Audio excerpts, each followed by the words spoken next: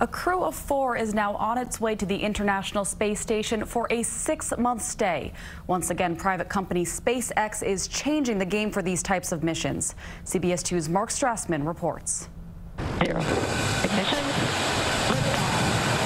Astronauts lifted off Sunday night on a SpaceX rocket flight to the International Space Station. U.S. Air Force Colonel Michael Hopkins is leading two Americans, physicist Shannon Walker and astronaut Victor Glover, as well as Japanese astronaut Soichi Noguchi, on the 27-hour trip to the space station. Glover will become the first black astronaut to spend an extended period aboard the space station, about six months. The astronauts named their SpaceX Crew Dragon capsule Resilience in light of this year's global challenges. This liftoff was given a 50-50 chance of even happening. For NASA and SpaceX, heavy winds scrubbed Saturday's original scheduled launch.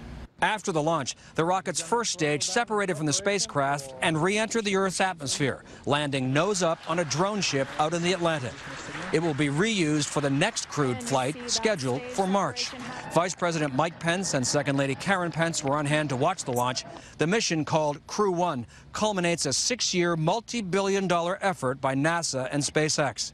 It will start a regular crew rotation of flights to the space station using American-made commercial spacecraft. Mark Strassmann, CBS News, at the Kennedy Space Center in Cape Canaveral, Florida.